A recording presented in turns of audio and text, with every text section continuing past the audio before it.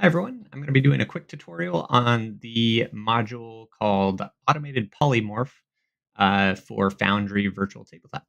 Uh, so we're going to jump right in. I have two characters uh, tokens out here on the map. The top one already has some transformations kind of configured, and the bottom one uh, is blank. So we'll go through the whole process on this one, and this one I'm just going to show you real quick what it looks like.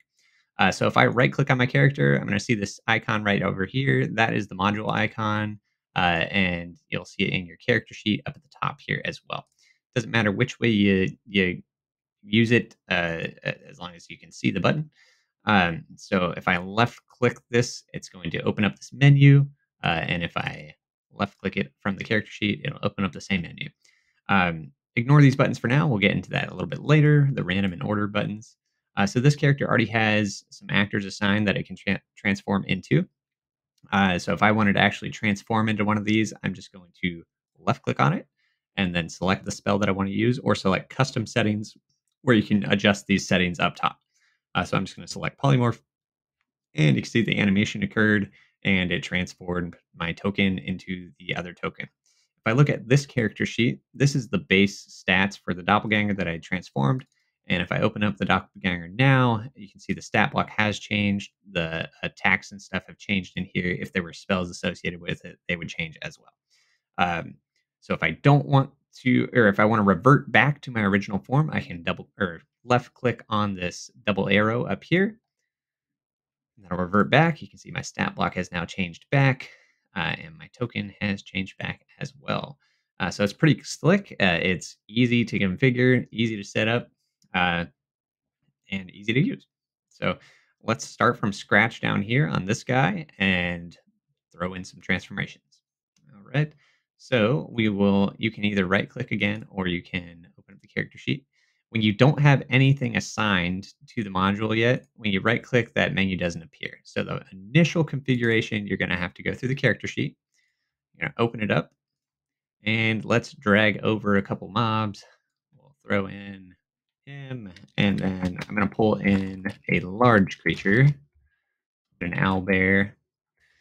Uh, I'll link to that module I was just using. It's called Quick Insert, to, uh, which is the greatest thing ever. Um, anyway, back to this. So we have two different actors assigned now that we can now uh, transform into. Um, and first thing we'll want to do is just set them up. So this column right here, the center column, uh, you can assign a different animation. Uh, and there's just some default animations in here. Um, so we'll select a couple random ones in there, and then we're going to want to assign the spell type. Uh, so we'll select, let's just do polymorph and wild shape there. Uh, let's look at what wild shape does. So uh, for a token that's either larger or smaller. So the owlbear is a large size mob, so it should increase our token size. So again, to transform, we're going to left click on the owl bear icon. We'll select wild shape since that's what we want to do. And you can see the token size changed as well as the image. And if we open up our character sheet, the attributes, features, and if there were spells, spells would have changed as well. So let's revert there, click the double arrows. Uh, and now, since we have actors assigned, we can right click on our character and in the quick access menu here, we then have the module icon. So you can left click that to open up the menu. And uh, if we wanted to transform into the guy, we can select polymorph for appearance only or whatever. And we'd have the different animation for him. And now we're that person.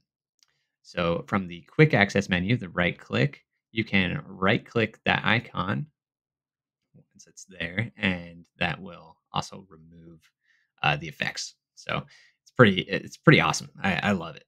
Um, if you want to mess with the random or ordered configuration, uh, you can again go in through that menu. Uh, let's try random first. So this this can be handy if you have say like a druid that pretty much always shifts into the same thing. Let's say they shift into an owl bear repeatedly. So we can just have just the owl bear on here. You can have whatever effect you want. Um, and this, in this case, you have to have the spell assigned over here. If you're going to use random or ordered, you have to have the spell assigned, or when it goes to transform you into that particular mob in the list, it will throw you an error and say it's not going to work because it doesn't know what to do. All right, so now we have it set to random. We have wild shape assigned. We have our owl bear. We're gonna select our owl bear, wild shape. All right, we tested that it worked. So now let's unshift with right click. Uh, and the cool part about assigning random and or ordered is that now we don't have to go through that menu. So I did it that time just because we were already there. But if we right click on this character and now just left click on the icon, now it'll just do the shift automatically without having to go and select those two buttons. So makes it a lot quicker. Uh, again, the caveat is that if you're trying to shift into like 15 different things and you want to do them not in that ordered list or not totally randomly, then you're just going to have to go through the list, uh, which doesn't take very long, so it's not a big deal. All right, so uh, so let's revert here and we'll experiment with ordered. So we'll right click on that. We'll open up the menu again. And let's throw in two more mobs. Let's throw mobs that don't look almost identical. All right. So now we have a couple mobs in there. We're going to assign some spell types to them. Let's just do polymorph. Um, and we'll throw in a different animation. Okay, so now we'll unselect random. We'll select ordered. You can't have both of those selected or it won't work. Uh, and now we will close. And when we left click this icon, it should, okay, started with Owlbear. That was the first one on the list. Second one on the list was that lady, so it went to her. And third in the list was that guy, so it went to him. If we try and do it again, it will start from the beginning. And just keep on going. So that's how the ordered list works. Uh, if you find a way to utilize that, I, I am not feeling super creative and can't think of a reason why I would want to use that. Uh, but it is available for you. Uh, and to remove the animation, again, you just right click on that uh, and you are back to square one. So uh, that's pretty much everything. Oh, I guess there's one more thing. So let's open up that, up that menu. Uh, that was the custom configuration. So um, if you wanted to actually use these custom effects up here, uh, like say you want to keep all your original stats, uh, but remove some other things or, or whatever, or you want to keep certain things of their original character but merge other things uh, you can do that. You just have to select the appropriate option from these boxes. Uh, and then to trans when you transform you just want to make sure you click this custom settings button. And then it'll do that custom or that transformation and when you open up the character sheet so this time I, kept, I selected keep my own character stats or the original character stats so you can see I still have the doppelganger stat block in here. I still have the doppelganger's attacks. Uh, uh, instead of having that owl bears information. So you can do that stuff. Uh, it's pretty easy to set up. You just have to read through the options and select the things that you want. Uh, so that's it, you guys. If you have any questions, feel free to comment. If you like the video, feel free to like it.